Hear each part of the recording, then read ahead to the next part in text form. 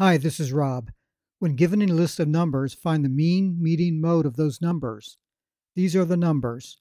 First step is to put these numbers into the TI-84 plus CE. Press the Stat button. This window appears. We want number 1 Edit. Number 1 is already highlighted, so press the Enter button. This window appears. We're going to use L1, which is List 1.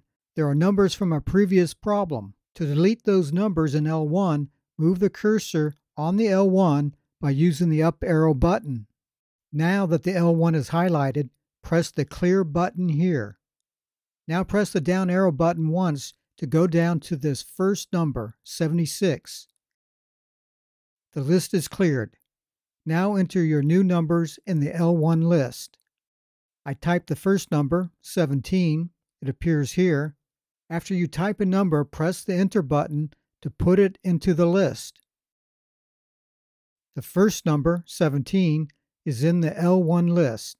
Now enter all your numbers in the list. Down here it shows how many numbers are in your list. We have 14 numbers in this list. After you enter all your numbers, press the second button and the List button, which is this Stat button. This window appears. Right arrow over to Math here is where we will find the mean and the median, number 3 and number 4. First, we will find the mean. Press the 3 button. This window appears. If you do not see this window, then press the Mode button here. This window appears. Highlight Classic by pressing the right arrow button. Then go back by pressing the second button and then the List button, which is the Stat button. This window appears. Right arrow to math. We want number three, mean. So press the three button. This window appears. Now we want to get the L1 list of numbers.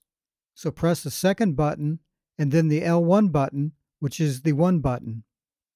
So it puts the L1 here. You do not have to close the parentheses.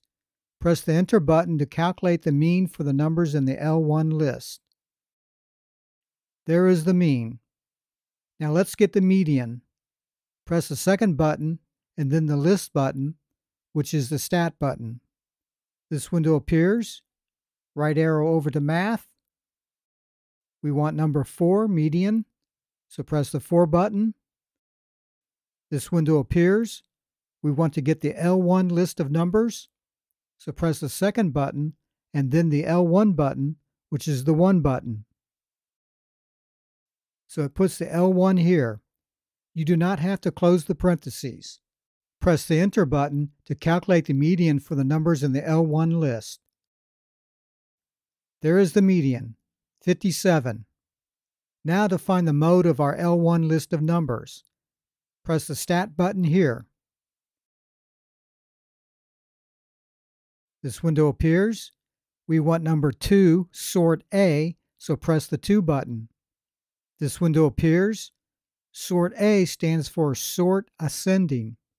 We want to get the L1 list of numbers, so press the second button and then the L1 button, which is the 1 button. The L1 is now in the open parentheses. You do not have to close the parentheses. Now press the Enter button. It says done. That means we sorted our list of numbers in the L1 in ascending order. Ascending order is from the lowest number to the highest number. So let's go to our L1 list of numbers and take a look at them. Press the Stat button. This window appears.